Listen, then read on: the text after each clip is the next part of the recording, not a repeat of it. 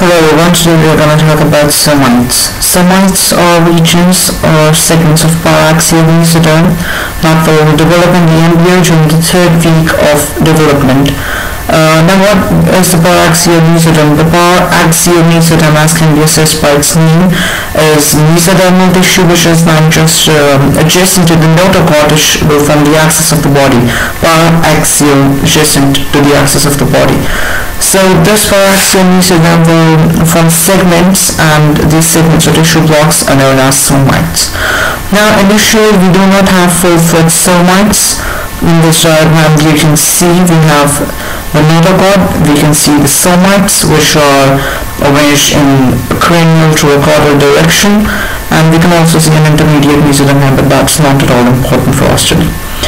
So initially we do not have somites, we have other regions which are known as somitomeres and somitomeres actually consist of mesodermal cells which are arranged in a sort of concentric, which have a sort of a concentric arrangement. So if I'm going to draw like this, we have another circle which is above this one and another one which is above this and so on.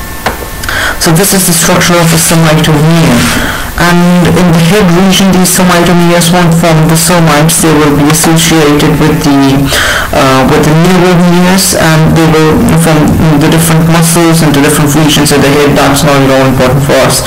But from the region of the occiput downwards these somitomeres will form the somites and uh, now if we consider the general arrangement of cells in the somitomere, we have fibroblast-like cells. These are also known as mesenchymal cells or mesodermal cells. Now some of these cells will undergo a process which is known as epithelialization and they will form epithelial cells which you can see here but these epithelial cells won't really remain as such. Some of the epithelial cells will again uh, reconvert to the fibroblast-like cells or to the mesenchymal cells. Um, you can actually say that the fibroblast cells go through a process of epithelialization and then they again revert to the fibroblast-like stage and, and this occurs in different regions of the somitomere.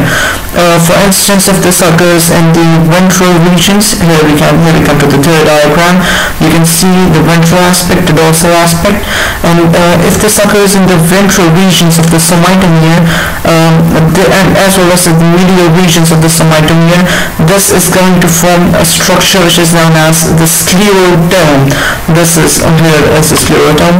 This is the sclerotome. So the sclerotome is the region of the somitomere that is going to develop uh, due to fibroblast-like cells in the ventral and in the medial regions of the somite. And this sclerotome is going to form the muscles of the, uh, the muscles, and the vertebra and the ribs. Sorry, it isn't going to form any muscles. It is going to form the vertebra and the ribs. Uh, some other some of the cells which are present in the in the dorsal lateral regions as well as the ventrolateral regions as well as in the medial regions as well. Some of these cells will form the myotome. The myotome is going to form the muscles of the body wall as well as some of the muscles of the limbs as well. And the regions which are left behind are known as the dermatomes. The dermatomes and the myotomes are usually uh, considered together and this arrangement is known as a dermomyotome. Now this, this explains why the muscles in the different regions of the body are innervated by a nerve which is going to come from a wholly different region. So now we come to the myotome. The myotome is actually composed of two different regions. We have an epaxial region or the epimere and we have a hypaxial region or the hypomere. You can see it in this diagram. Uh, so the epaxial region of the epimere is located more dorsally and so it is going to form the muscles of the back, the intrinsic muscles of the back. And the hypaxial region of the hypomere, as you can see, is located more ventrally, and it is going to form the muscles of the anterior and the lateral body wall. And uh, now a little bit the innervation. Is going to be innervated by the posterior primary rami of the spinal nerves. Um, you'll study that when you study structure of spinal nerve. I won't go into the details here. And the hypomere will be innervated by the anterior primary rami of a spinal nerve.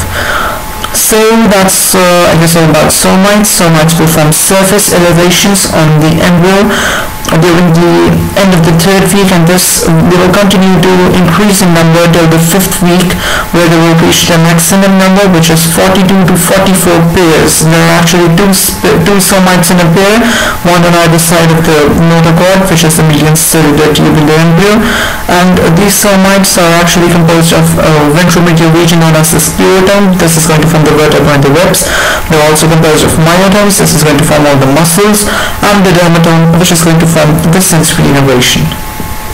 So that's all about somites. Stay tuned.